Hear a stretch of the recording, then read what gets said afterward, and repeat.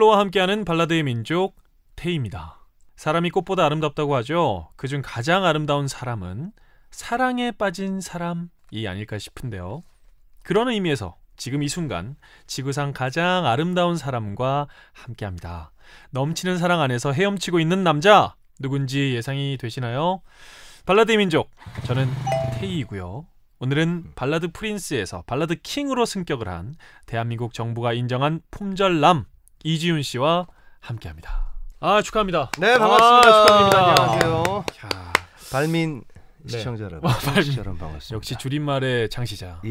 예. 우리 스태프들이 네네네. 지훈 씨가 이제 오신다고 하니까 네. 다들 송구한 마음으로 아. 다들 예, 다들 가슴에 손을 다 이렇게 하더라고요. 네네. 다. 아 처음에. 개런티 얘기를 하더라고요. 제가 너무 약소해서 제가 이제. 오시기가 너무 어렵다고 뭐 음. 그런 말씀을 하셔서 소품 아저 괜찮습니다. 그랬더니 음. 이번에 이제 뭐 출연 요청을 하시면서 음. 결혼 선물을 해주겠다고. 아 예. 진짜? 집에 가전 제품을 전부 다 싹 바꿔주시겠다고. 아 진짜로? 예, 저한테 얘기를 해주셔가지고 피디님 흔쾌히- 눈이 많이 커졌는데 지금. 흔쾌히 허락을 하게 됐습니다. 어, 아 괜찮아요. 어. 다싹 해놨어요. 몇 개 안 돼요. 청소기랑 믹서기랑.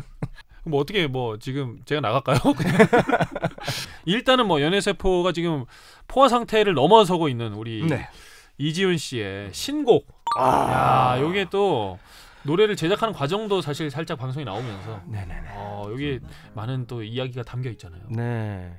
일단 뭐 제가 이제 작곡 작사에 이제 참여를 할 수 있는 기회가 생겨가지고 같이 공동 작업을 함께 했는데요. 네. 일단 곡을 먼저 쓰고 난 뒤에 가사 작업을 하는 와중에 음. 여러 가지 방향성들이 있었어요. 또 많은 대중분들한테 좀 생각을 할 수 있는 음. 힘을 줄 수 있는 그런 방향으로 쓰다가 약간 노래랑 좀 성질이 좀 안 맞는 것 같아서 결국은 사랑 쪽으로 가게 되더라고요. 아, 그러니까 어쩐지. 제 세포가 약간 그쪽으로 지금 가 어, 있으니까 그게 리얼이에요. 계속 나오는 거야 그런 그렇지. 말들이 네. 그리고 결론적으로는 아내를 위해서 아내를 생각하면서 썼지만 대상을 바꾸다 보니까 음. 지금까지 여태껏 동안 뭐 저를 기다려 주셨고 저를 사랑해 주셨던 팬들에 대한 마음을 또 표현을 할 수 있게 됐더라고요. 예. 사실 그 사랑이 크게 다르지 않거든요. 그렇죠. 네. 예. 여지껏 주었던 사랑과 우리 나누는 사랑이 연인의 사랑과 뭐 어떤 환경이랑 그 뭐 어떤 행동의 차이는 있을 수 있어도 그렇죠. 예, 그게 진짜 다르지 않아요. 네. 사랑에 빠진 남자 우리 이지훈 씨와 잠자는 연애 세포를 활성화시키는 럴컵 음. 우리가 뭐 bulk up이라고 하는데 네네. love를 키우는 아, 럴컵 럴컵. 예 럴컵 노래를 한번 찾아보려고 하고 있습니다. 내가 노래를 던져줄 테니까요. 네네. 어, 내 여자친구가 생긴다면 음. 불러주고 싶은 노래. 어 좋다. 예, 어떤 노래 불러주고 싶은지. 이건 뭐 할 수 있죠. 네. 첫 번째 문제. 방금 들었던 음. 저의 Timeless. 음. 그리고 이지훈 with 신혜성 인형. 어렵네. 이거 밸런, 밸런스 게임 같은데. 근데 어렵지만 노래 자체 어떤 그 가고자 하는 방향 완전 달라요. 그러니까 메시지는 사실 네. Timeless인데 네네. 또 인형이 워낙, 워낙 음. 노래가 좋아요. 그래서 네. 약간 매력 뿜뿜의 기회가 될 수도 있으니까. 음흠, 음흠. 근데 저는 음, 하나, 둘, 셋. Timeless. Timeless. Timeless죠. 어 원하네. 가사가 이게 네. 울컥울컥하거든요. 네. 하지만 Timeless는 너무 섣불러. 아 그래? 네. 아 이게 답이 있어요? 아니 왜냐면 이제 막 시작해야 되는 그 연애가 어. 있는데 어. 뭐 이런 가사가 세상이 버린 나라도 괜찮겠니 막 이런 좀 deep한 가사들이 나오잖아요. 아 그런데 부담을 주는 거. 처음에 이런 노래 들으면 누가 좋아하겠어. 어, 난 light하게 이 만나고 싶은데. 난 이 부분이 너무 좋은데. 아, 근, 이거는 좀 사랑한 다음에 시작하는 그런 건가? 아, 이거는 어. 그러니까 프로포즈용으로는 좋은데. 그렇죠. 이 썸에서 연애로 넘어갈 때는 과하다. 어. 아 이거 정확한 판단이에요. 이게 네. 너무 너무 많이 나한테 와 있는데 아 나 좀 부담스러운데 약간 이렇게 느낄 수 있고. 좋은데요? 네. 생각보다 디테일한 그 분석이 있네. 음. 아 좋아요, 좋아요. 자 그러면 다음 노래. 자 첫 번째 테이의 두근두근. 이거 이걸 여러분들이 아시나? 요게 요게 좀 산뜻산뜻한 노래가 있어요. 음, 음. 네. 그리고 요거 약간 심쿵하게 만드는 노래죠. 네, 그리고 그리고 이석훈의 그대를 사랑하는 열 가지 이유. 어, 너무 명곡과 너무 숨은 곡이 있는데 아니, 테이의 두근두근 이 노래는 네. 이제 제가 수록곡으로 실은 노래인데 네. 뭐 이럴 게 아닌데 약간 음흠. 약간 그 동요 같은 느낌. 음. 약간 그 순수한 음. 사랑에 빠지는 남자의 느낌. 음. 근데 한간의 소문에 의하면 네네. 이때 당시 어, 테이 씨가 연애했던 분 네, 관련된 음, 음. 가사의 어떤 메시지라고 좀 들었어요. 아 그렇게 단정하고 싶지는 않고요. 네. 하지만 많은 진심이 들어가 있다. 어, 어, 그런 제가 심쿵했던 포인트들. 음. 그래서 왜 이걸 심쿵하지? 음. 가사에 그런 게 있거든요. 머리 한번 올렸을 뿐인데 아. 나 이게 뭐라고 이렇게 떨리지? 뭐 이런 그렇지. 가사들이 있어요. 그러면 약간 거의 초반 때 얘기죠. 그렇죠, 이제 그렇죠. 막, 이제. 싹틀 때. 어, 내가 좋아하는 타입이라는 게 있잖아요. 그렇죠. 외형적으로나 성격이나. 네네. 근데 아닌 사람인데 음, 음. 뭔가 심쿵할 때 있어.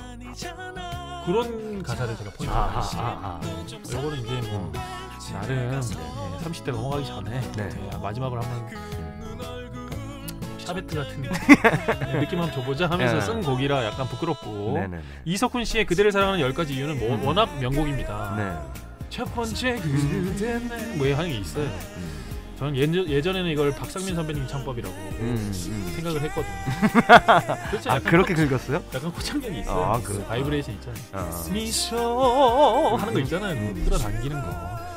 그래서 자. 했는데 이 노래가 너무 너무 진짜 매력적이고 사랑하는 스러운 노래긴 하죠. 자 우리 태희 씨또 어떻게 골라 주실지 선택을 해보도록 하겠습니다. 아 이거는 뭐 여러분들도 한번 해보세요. 네. 여러분.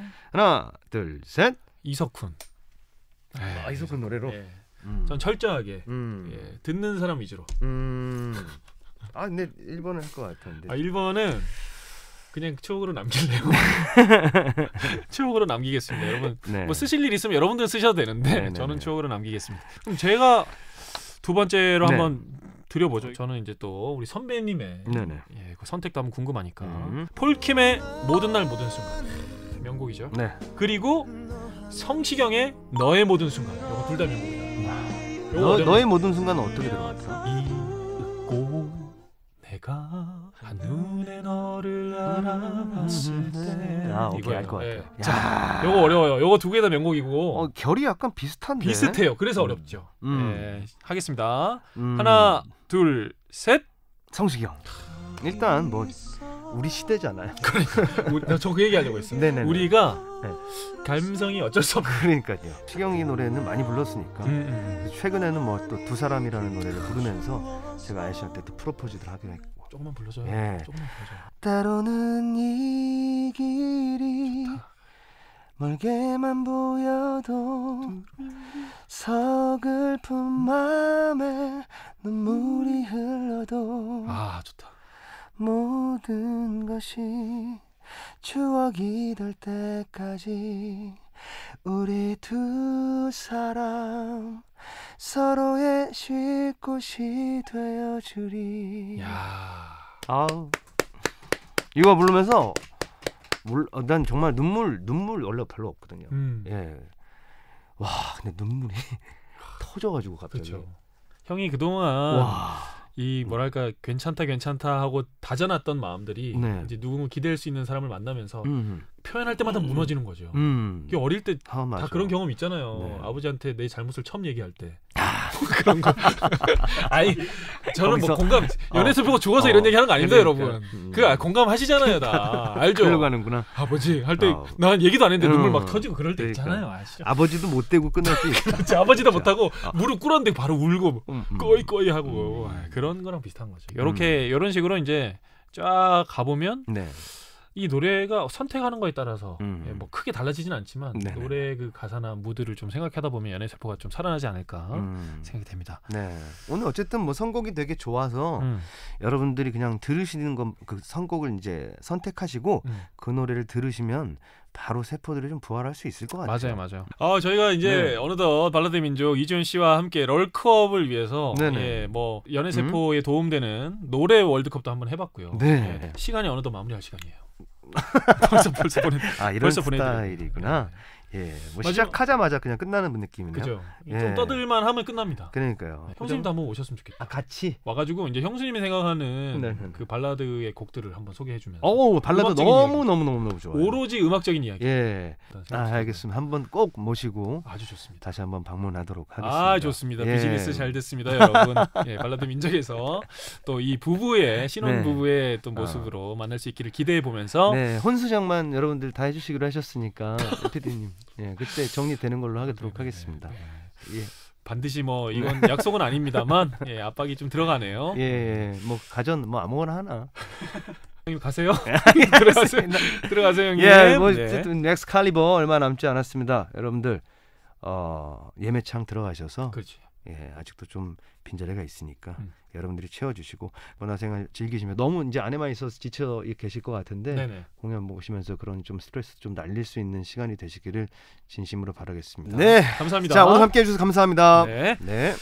아 좋은 사람과 함께하니까 시간이 참 빨리 갑니다. 예, 발라드 민족 오늘 어떠셨나요? 저는 개인적으로 굉장히 재밌기도 하고 무섭기도 했는데 여러분들 즐거우셨기를 바래봅니다.